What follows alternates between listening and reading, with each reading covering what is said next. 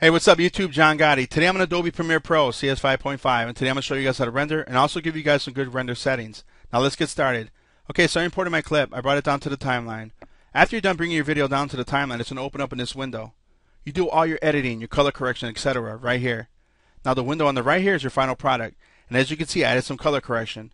Another thing before you render, you want to make sure your marker's at the beginning and at the end of your video because you want to get the full render of your video and audio. Now let's render. You want to go to File, go to Export, and go to Media. Okay, my format it's H.264.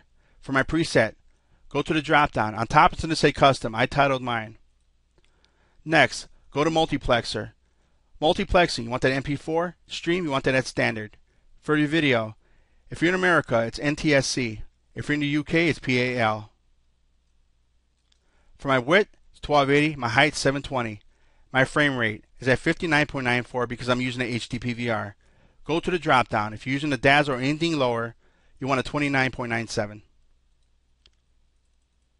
Next, my pixels. Square pixels. My profile's at baseline.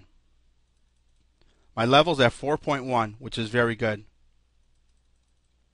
My bit rate. VBR 1 pass. For your target, you want to type in 10.27. For your maximum, you want to kick it all the way up to 50. For your audio, you don't have to do anything. Now just click export and you're ready to render. Again, this video was on how to render on Adobe Premiere Pro CS 5.5. I'm John Gotti. Please comment, rate, and subscribe, and I'll talk to you guys later.